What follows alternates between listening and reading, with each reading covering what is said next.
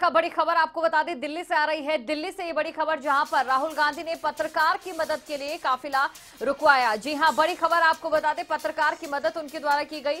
सड़क पर गिरे हुए पत्रकार को उठाकर अस्पताल भी पहुँचाया गया। बड़ी खबर आपको बता दें, और काफिला राहुल गांधी के द्वारा रुकाया गया।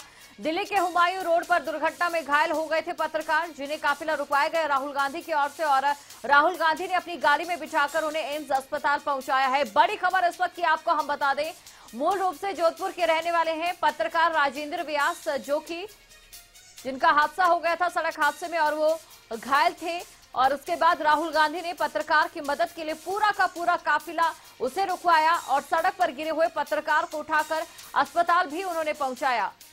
तो आपको बता दें, इस वक्त की बड़ी और अहम खबर, दिल्ली से राहुल गांधी ने पत्रकार की मदद के लिए काफिला रुकवाया है। तस्वीर भी आप देख सकते हैं, वीडियो भी आप देख सकते हैं, जहाँ पर पत्रकार भी आपको दिखाई देंगे और राहुल गांधी भी है। साथ ही राहुल गांधी ने उन्हें अपनी गाड़ी में बिठाया है और उनका ध्यान भी यहाँ रखा जा रहा है। तस्वीरें आप देखिए, तस्वीरें खुद बहुत कुछ बयां भी कर रही है।